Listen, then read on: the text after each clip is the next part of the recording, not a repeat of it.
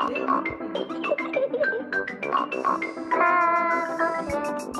you.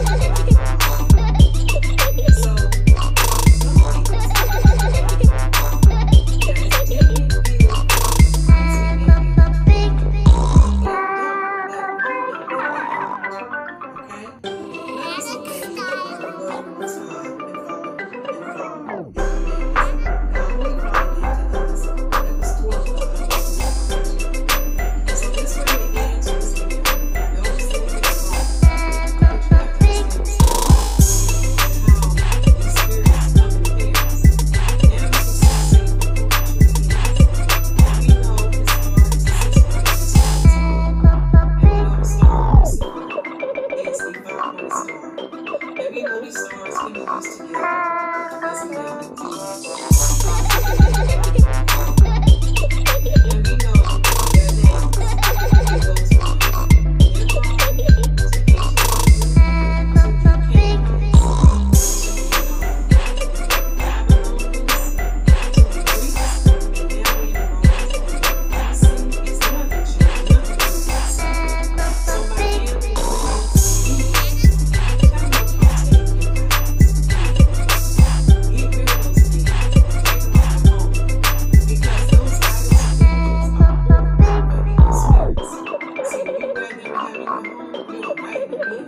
so get rid of to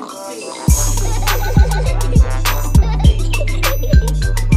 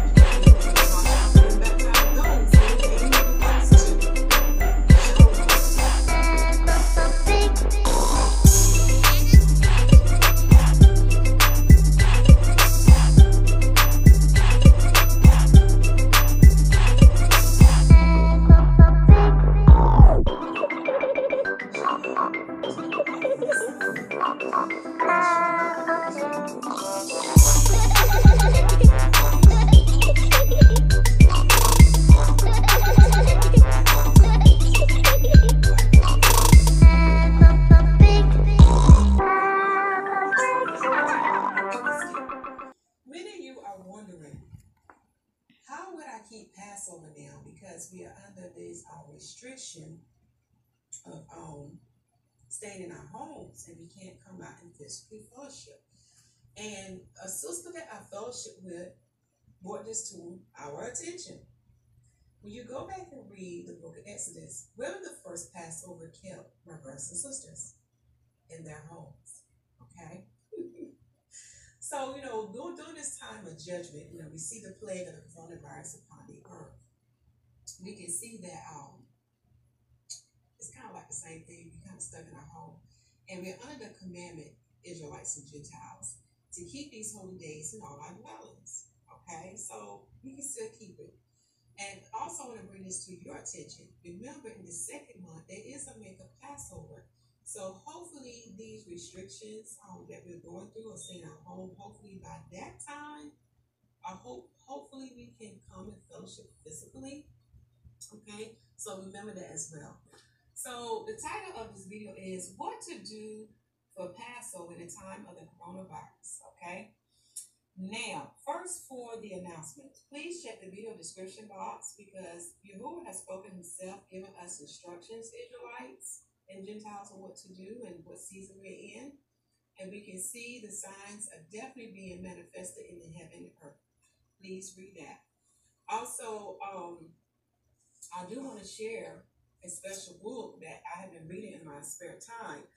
And this is the uh, the Gospel of the Beloved Companion the complete gospel of Mary Magdalene.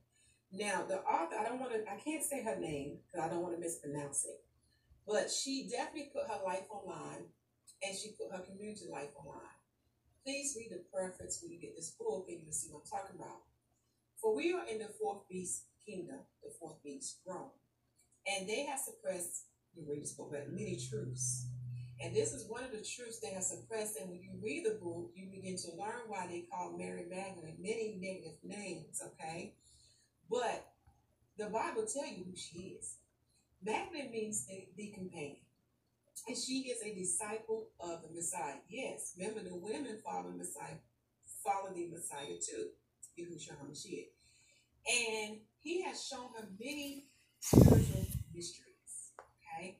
She too has written a gospel, a testimony about her walk with the Messiah.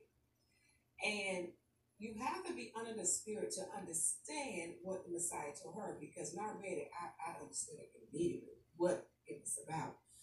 But she was the one, okay, let me first let you know who she is. She is the sister of Martha and of Lazarus. And remember, Lazarus was the one that Messiah resurrected from the dead before he was crucified. But Mary Magdalene did a, a great work unto him, or a good work unto the Messiah. She was the one who anointed the Messiah before his crucifixion. So this is a great book to read in your spare time. Okay. Now I just recently put out a video for the Christians. So if you have any Christian friends, please share that video on to them about Easter. I found another ancient book. Well, not ancient book, but an old book, brothers and sisters. And it's a European giving the truth about Easter. Okay? So I also share that video too. That's on the channel as well. All right. Now back to the topic. So Israelites and Gentiles, or I'll also say, let me, me correct myself. Hebrews, for those who call themselves Hebrews, Israelites, or Gentiles. Okay? What are we going to do in this time of the coronavirus or keeping the Passover? Now, when you come in the whole volume book, a lot of your leaders are keeping y'all in the old and not in the new. You might say, what are you talking about, Sister the Pharisees, Sadducees, and Herodians of the day are not following the Messiah instructions. So you have to be born of the water and the spirit to understand the season or the time that we're in there. Okay? If I say, well, what do you mean? This is what I mean. The Messiah is the Passover. If you have read the Bible and other books, such as the book of Nicodemus, Nicodemus, the high priest of Israel, his book is often called the book of um, the Acts of Pontius Pilate. If you read that book, you begin to understand why Messiah is the Messiah when we look up the word Passover, I'm gonna go into this book. This book was written by a European in the 1700s. He, um, I'll let you see the title page. Cruden's Complete Concordance in the Old and New Testament by Anastasia Cruden, A.M. He written this book in 1737. But I'm just gonna go to the meaning of Passover because when we look at the word Passover, see, can I find it? Here we go. It says here, this word comes from the Hebrew verb for shop, which signifies to pass, to leap, or skip over. Now, this is all I'm going to read right here. I'm going to stop there. Okay, I'm going to pause this so y'all can look at the rest of this. Okay? Now, what did the since the Messiah is the Passover, because we can understand the Passover in the um, book of Exodus, okay? Because we know what the destroyer passed over the Israelites because they had put the blood of the lamb upon the doorpost.